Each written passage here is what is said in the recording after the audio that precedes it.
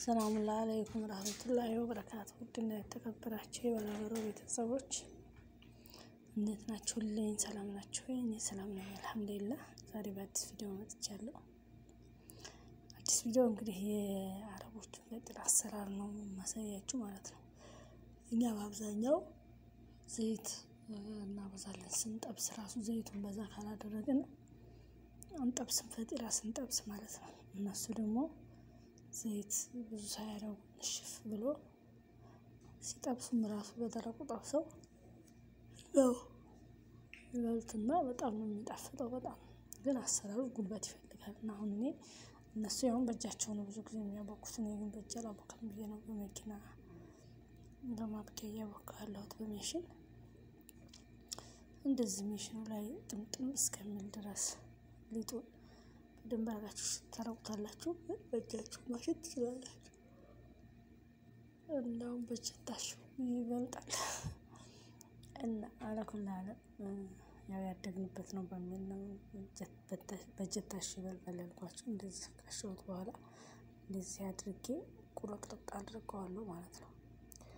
እናንተ ያው እንደ ፍሩማችሁ ትልቅና ትንሽነት፣ ምክንያቱም እኛ ፍሩማችን ትልቅ ስለሆነ ሳህኑም ትልቅ ነው።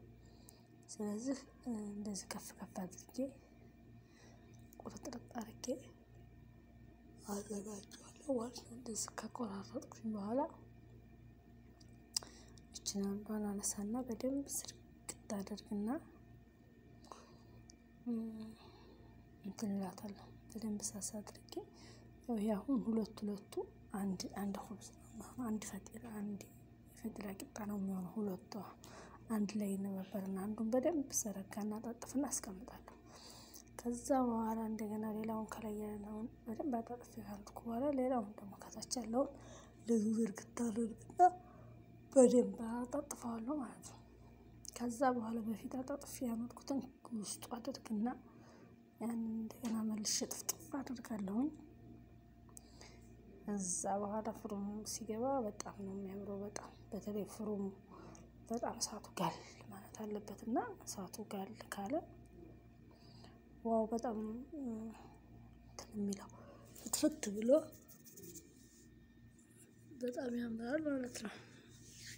ስትበሉት ራሱ እንደዚህ ስትፈተፈቱት የሚቦኩ እንትን የሚሉት የሚያቦኩት ያው ውሃውን እና ዱቄቱን ነው። ካሜራ እንኳን አይደረግበትም። ሌላ እንቁላሉ ምናምን ከዛ የሚያቦኩት ከዛ በኋላ እንደዚህ ይህን ካቦኩት በኋላ ያው በደንብ እርግጥ ያሹታል እንጂ በውሃና በጨው ብቻ ነው የሚያሹት ማለት ነው። ምንም ሳያደርጉ ካሹ በኋላ በዚህ ቆርቆር ይሄ ሹካ መላቃ ይሉታል። የሹካ መላቃ ስዕልላው ላይ ስላለ በሀገራችን ሹካ መላቃ ማለት ሹካና መላቃ እንደ ማለት ነው። ሹካ መላቃ ቆርቆሮ ይሉታል። በዚህ ነው እንደዚህ ተደርጎ ከተዘረጋ በኋላ ይሄ እንዳልኮች አሁን ያሳየኋችሁ ቅቤ ከላይ ቀለጥልና እንደ ውሃ ከላይ እንደዚህ ከፍከፍ ካደረጉ በኋላ ዱቄት ነስነስ ያደረጉበታል። ዱቄት እንደዚህ ነስነስ ካደረግን በኋላ ይታጠፋል። መጀመሪያ እንደዚህ ዝርግት ተደርጎ እንደዚህ ሲዘረጋ ራሱ አይቆረስም፣ እንድትጥ ስለሚል ማለት ነው። እዛ ዱቄት እናደርጋለን። ከቅቤው ትንሽ እናደርግበትና በጥፍጥፍ ይላል ማለት ነው። በጥፍጥፍ አድርገን አራት ማዕዘን አስመስለን እናስቀምጠዋለን። አሁን ይሄ እንደዚህ ከሆነ በኋላ ያው ሳጥፍ አሳያችኋለሁ። እንደዚህ ያው እኔ በአንድ እጄ ትንሽ ካሜራ እያያዝኩ ስለሆነ የምሰውርላችሁ ካሜራ ማስቀመጫ ቦታ ስለሌለኝ ነው እንጂ ካሜራውን አስቀምጬ ባሳያችሁ በጣም ያምራል። ያው እንግዲህ ጀና ጀዋሉን አቋርጬው ነው ያጠፍኩት። ይሄው አሁን ከላይ እና ከታች አድርጌ አጠፍኩት ማለት ነው። እንደዚህ ካጠፍኩት በኋላ ይሄ አሁን ይሄው እንደዚህ አሁን እኔ በአንድ እጄ ጀዋሉ ስለያዝኩ ነው በአንድ እጄ ብቻ ሳጽፍ የምታዩ ማለት ነው። እንዲሁ በሁለት እጄ ቢሆን ትንሽ ለእናንተ ጎላ ብሎ ይታይ ነበር። ካሜራውን ቦታ ማኖሪያ ባገኝ ይኸው እንደዚህ ባጠፋችሁ ቁጥር ከውስጥ ዱቄት ነስነስ ቅቤ ታደርጉበታላችሁ። ለምን መሰላችሁ? ጥፍጥፍ ያለው ልክክ ብሎ አንድ ቂጣ አይመስልም። ልክክልና ያው ፈጢራ ቂጣ ታውቃላችሁ። የፈጢራ ቂጣ ውስጡ የሆነ ፍትፍት ያለ ነው የሚለው እንደ መንዲል ወረቀት ስስት ብሎ በጣም ውስጡ ፍትፍት ያለ ነው እና እንደዚህ ጥፋቱ ብዙ ስለሚሆን ነው። ይህ እንደዚህ ይሄ ጥፍጥፍ ካለ በኋላ አሁን ያ ቅድም አጥፌ ያስቀመጥኩትን ነው አሁን አምጥቼ እዚህ ጋር ሳስገባ የምታዩኝ ማለት ነው። አሁን ቆይ እንደዚህ ከጠጠፍኩ በኋላ ምን አደርጋለሁ መሰላችሁ?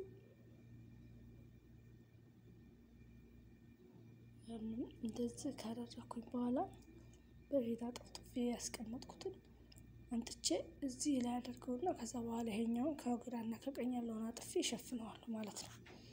ከዛ ለጋግር ሰው ነው እንደገና የምዘረጋው ሁላችሁ እንደዚህ ዱቄት ካደረኩኝ በኋላ ያው ያንን በፊት ያጥፍ የነበረውን አንጥቼ መሀል ላይ ያስቀመጥኩ። ከዛ ይሄኛውን ከወዲህ ይሄኛውን ከወዲህ ያለውን አንድ ላይ አጥፈዋለሁ ማለት ነው።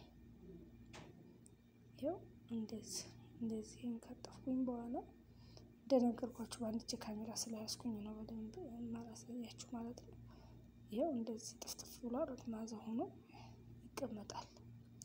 ከዛ በኋላ ይሄን ነው አሁን እንግዲህ ፍሩን የማስገባው ትንሽ ከቆየ በኋላ ያው አጣጥፊ ሁሉንም ከጨረስኩ በኋላ የምጋግረውን ያህል ይኸው ይኸው እንግዲህ የአሁን ያ ሁለቱ ሁለት ቅድም ያሳየኋቸው ኳስኳስ የሚያህሉ ሁለቱ እነዚህ ናቸው። ሁለቱ እንደገና ሁለቱ ነው አንድ አንድ ፈጢራ ይሄን ያህል የሚሆነው ሁለቱ ቁራቁራ የሚያክሉት ብሉለስ ነገሮች ሁለቱ ናቸው። እንደዚህ ነው እነዚህ ማለት አሁን እችን ታወታላችሁ። እችን ሁለቱ አለች። አሁን ይሄንን አንድ የምትሆነው ማለት ነው። እዛ አሁን አንድ አለኝ። ይህን ዘረጋና ጣጥፍ ያስቀምጣለሁ። ከዚያ ያችን ዘረጋለሁ፣ ያንን አስገባለሁ ማለት ነው። ተረዳችሁኝ ይመስለኛል።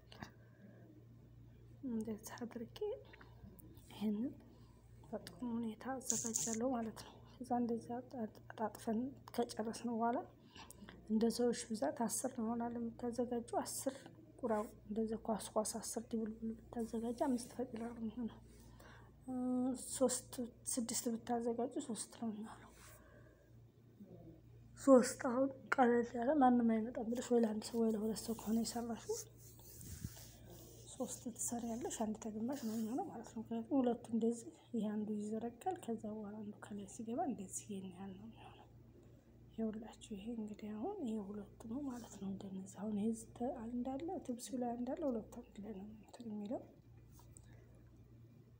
እዛ እንደዚህ ከተደረገ በኋላ አሁንም እንደዚህ እየዘረጋው ያለው እስከሚያልቅ ድረስ በዚህ መልኩ አዘጋጃለሁ ማለት ነው። ከዛ በኋላ በአንድ ቀን ሁሉም እንትን የማይል የማይጠበስ ከሆነ ለየብቻው ኪስ ኪስ ከአንዱ ኪስ ለብቻ በሱፍራ የሚሆን አለያይቶ freezer ይቀመጣል። ከዛ በኋላ በፈለጉ ሰዓት እያወጡ አንዳንዱን በመጥበሻም ቢሆን በፍሩም ቢሆን በፈለጉት መንገድ መጥበስ ነው ማለት ነው። እስኪ እንግዲህ ተጠብሶ ደግሞ ያለቀውን ጠብሰን ጨርሰን ያለውን ደግሞ አሳያችኋለሁ ማለት ነው። አቦካኩ አስተጣጠፉ ምናምን ይሄንን ይመስላል።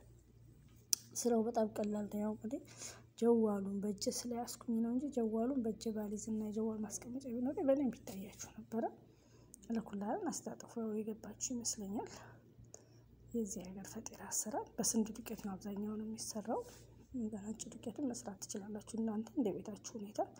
ይህን ይመስላል ማለት ነው። የሱካር በሽታ ያለበት አብዛኛውን ግን የስንዴውን ዱቄት ነው እንጂ ሌላ አይፈልግም። ለዛ ነው እንግዲህ ውድ ቤተሰቦች ፈጢራዬ በስሎ ለመበላት እንደዚህ ተዘጋጅቷል። ማሻአላ ተባረካላ። እንዴት እንደሚያምር ተመልከቱ። ይኸውላችሁ ፍትፍት ነው የሚለው ማለት ነው። ምክንያቱም ጥፋቱ ብዙ ስለሆነ ተውስጥ ያለው ብዙ ተጣጥፏል። እንደገና ከላይ ያለው ተጣጥፎ ነው እና በብዙ ወደ አራት አምስት እጥፍ ስለሆነ ስስት ብሎ ልክ እንደ አሳምቡሳ ቂጣ በቃ ፍትፍት ነው የሚለው እና ዘይት የለውም በብዛት ምክንያቱም አሁን እኛ ስንጠብስ በመጥበሻ ነው ዘይቱን በዛ አድርገን፣ እነሱ ግን በእንዲህ መልኩ ነው የሚጠብሱትና ተመልከቱ። ማሻአላ ተባረካላ እንዴት እንደሚያምር ማለት ነው። ያውላችሁ ከላይም ከታችን ፍሩሙ መለኮስ አለበት። በጣም መሞቅ አለበት። በጣም በቃ በጣም ሞቅ ማለት አለበት። ፍሩሙ በጣም ከጋለ ከላይም ከታችም ተለኩሶ እሳቱ በደንብ የሚነድ ከሆነ በቃ በጣም ነው የሚያምረው ማለት ነው። እና ይህንን ይመስላል። እናንተ ደግሞ ያው እንዳሳየዋችሁ አቦካኩንም በአንድ እጅ ካሜራው በአንድ እጅ ቢይዝ እና በደንብ ባይታይም አይታችሁታል ሁሉንም እና አሁን ከስንዴ ዱቄት ነው የተሰራው። ትንሽ እየነጭ ዱቄት አለው እንጂ ከስንዴ ዱቄት የተሰራ ቂጣ ነው ማለት ነው እና ሰርታችሁ ሞክሩት። በጣም ነው የሚጣፍጠው፣ በጣም ነው የሚያምረው። እዚህ ላይ አማራችሁን ፈሰስ ታደርጉና ወይም እያጠቀሳችሁ ፈሰስ አድርጋችሁ ቢሆን እንደ ሳንዱች ጥቅልል አድርጋችሁ መብላት ነው ማለት ነው እና ትልቁ ማስተናገጃቸው በተለይ የመኔዎች ነው። የመኔዎች በተለይ ትልቁ መስተንግዷቸው ቤታቸው እንግዳ ሲመጣ ይሄ ነው እና ቪዲዮን ከወደዳችሁት like like፣ share፣ subscribe ማድረጋችሁን አትርሱ። ሀሳብ አስተያየታችሁን comment ላይ አስቀምጡልኝ። የበለጠ ደግሞ ከዚህ የተሻለ ኢንሻላ ላሳያችሁ እችላለሁ። እና ያው ካሜራ ማስቀመጫ ገዝቼ በደንብ ደግሞ አሳያችኋለሁ ወደፊት ማለት ነው። የዛሬው ቪዲዮ ይህን ይመስላል።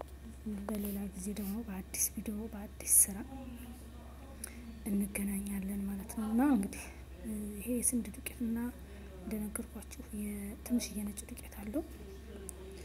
ለጤና በጣም ተስማሚ ነው። ነጭ ዱቄት ነው ታውቃላችሁ፣ በብዛት በእርግጥ ስንዴም አይመከርም። ስኳር ላለበት ሰው ደግሞ ነጭ ዱቄቱ ስለሚብስ ይሄ የጥቁር ስንዴ ነው። ጥቁር ስንዴ ነው እኛ ቤት የሚበላው የእሱ ነው እላችኋለሁኝ። በሌላ ቪዲዮ እስከምንገናኝ ደህና ሁኑልኝ። የዛሬ ቪዲዮ የዛሬው መልእክት ይመስላል። ፋማኒላ አሰላሙ አለይኩም ረህመቱላህ ወበረካቱ